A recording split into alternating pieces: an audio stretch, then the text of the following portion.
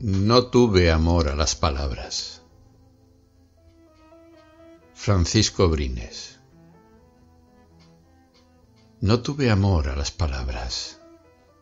Si las usé con desnudez, si sufrí en esa busca, fue por necesidad de no perder la vida y envejecer con algo de memoria y alguna claridad.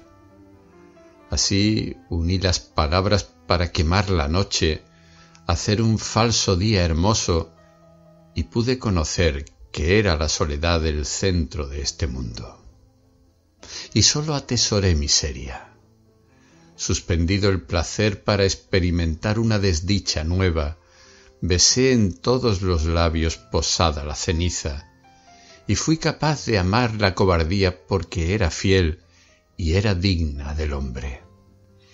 Hay en mi tosca taza un divino licor que apuro y que renuevo, desasosiega y es remordimiento. Tengo por concubina a la virtud. No tuve amor a las palabras. ¿Cómo tener amor a vagos signos cuyo desvelamiento era tan sólo despertar la piedad del hombre para consigo mismo? En el aprendizaje del oficio se logran resultados. Llegué a saber que era idéntico el peso del acto que resulta de lenta reflexión y el gratuito. Y es fácil desprenderse de la vida o no estimarla, pues es en la desdicha tan valiosa como en la misma dicha. Debí amar las palabras. Por ellas comparé con cualquier dimensión del mundo externo, el mar, el firmamento, un goce o un dolor que al instante morían, y en ellas alcancé la raíz tenebrosa de la vida.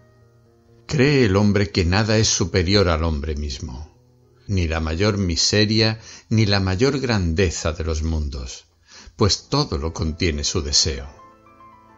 Las palabras separan de las cosas la luz que cae en ellas y la cáscara extinta, y recogen los velos de la sombra en la noche y los huecos.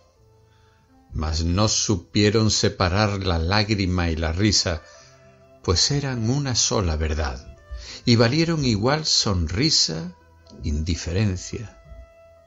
Todos son gestos, muertes, son residuos, Mirad al sigiloso ladrón de las palabras. Repta en la noche fosca, abre su boca seca y está mudo.